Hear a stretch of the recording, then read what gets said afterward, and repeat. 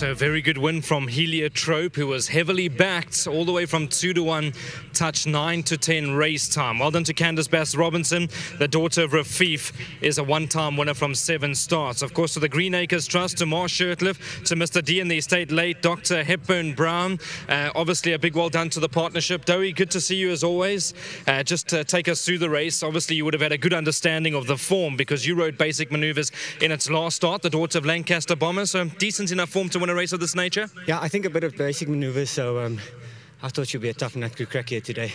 I'm glad to hear that she got backed in because my bank details on the side of my breeches. So well done to everyone involved, uh, Mr. Shirtliff.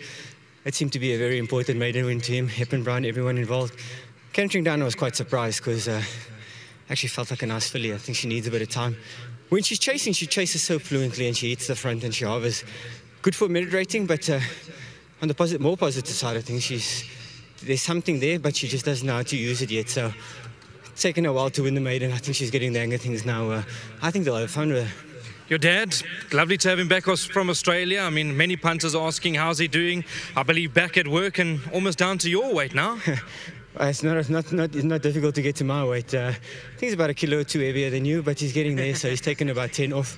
He seems to be quite happy. He's home now, so uh, he seems to thrive in these conditions. He's doing well. He's in a good space, and uh, once he gets those 15, 17 kilos off, uh, interesting to see what's to come. Well done, Dowie. Good to see you. Thanks so much, but thanks to the best team.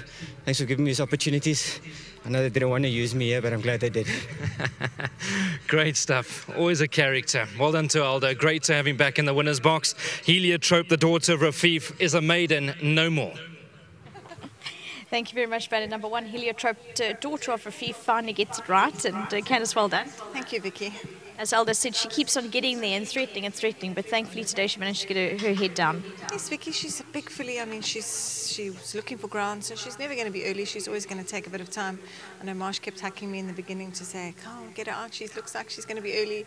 She's nowhere near being early, and uh, she's probably going to be a filly. I think that will go too far. So she's she's very much a staying filly, and she slowly but surely made her way um, in the maidens. Every single run, she's improved every time, and I keep begging um, Justin for a, maiden over 2-4, but uh, I don't need it anymore after this today. So um, it was a nice race for her today. Vicky, she drew well and uh, she showed some nice sort of pace in the race early on. A couple of her early on runs, she's been battling to keep up with the field. So she's slowly but surely learning how to race now. And uh, you know, when she strengthens up a little bit more, I think she might be a nice filly later on over a bit of ground. Also, a lovely result for the yard. Well done. Yeah, thankfully it's been uh, short head seconds for most of the day, so it's nice to get out of the second box. Well done to David and Marsh. Obviously to Sandy, who's not with us um, anymore, but it was, it was her filly and uh, she chose her, and yeah, nice for all of them, so well done. Indeed, well done, Candice. Thank you. Next up, I've got, I don't know if uh, David's coming, I know Marsh is coming. Lovely to chat to you twice in one day, Marsh. This is very encouraging. Twice in one day is a good, a good place to be. Yeah, two today, fantastic. It's a very uh, touching win for us. First win I've had with uh, Himonada, my good friend and partner David yeah. Um, and I think Candice has touched on the history of, of the filly. I bought the filly right here, and uh, Gail Pulpit from Bochebos pointed him out to me. Uh, out to me after I was looking for some uh, United States horses and said, I said, I'm not happy about these United States fillies you got here. What else you got? And she pointed this out. And I sat down and um, at the sale, and the horse came up, bought the filly. Wasn't five minutes, Sandy phoned me, David's wife, and said, That's the nicest filly on the sale. Who bought that horse? Because always signs for us. I said, I did. He said, Can I please have a share? I said, What a question, of course. And she runs in your colours. Well, Sandy, that one's for you, darling, and also for Gail, who's up there with Sandy today. Very touching, as I said. And uh, yeah, and thanks to Candice for getting him, getting her here today, and although a nice ride. Indeed, well done, Mark. David. Yeah, David, I just want to know if your, your outfit was planned. Very much not planned. I actually found out after the whole sale had taken place, because then I had to take the filly back to the farm. Well, that's thankfully it's all turned out to be a good story and uh, lovely to have a win today.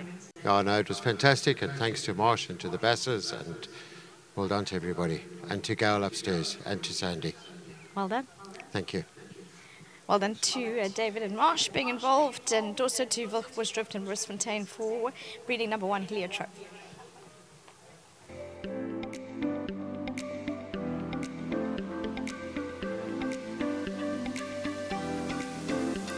Patrons, please note, race 5, number 9, and NASA's Bomb has been declared a non-runner. So NASA's Bomb has been declared a non-runner for the running of race number 5. That is the outcome of the race review.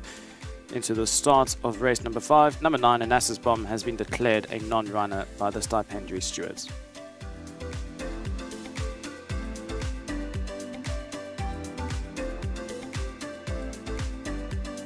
Much indeed, Dev. So just to confirm that, Anastas Bomb declared a non-runner after review into the start. And ladies and gentlemen, William, William, ladies and gentlemen, introducing you all. I've been chatting to you. 15 years with the Basses. Who's your favourite horse that you that you remember? Charles Dickens. Charles Dickens, your favourite. Yes. Do you remember Pocket Power and all the other great champions? Yeah, I know, but it's a long time. But as a Charlie Dickens is now. That's why I, I chose as a Charlie Dickens. You said you didn't want to talk too much. You've given us a nice story. How's Heliotrope? You happy with the win today? Yeah, I'm very happy too much. William, very well done. Nice to meet you. Thousand Rand from Hollywoodbets and Cape Racing. Congratulations. Thank you. Well done, Sir William. Works for Candice Bass Robinson. Been there since Mike Bass days. He's the winning groom of Heliotrope. His favourite was Charles Dickens.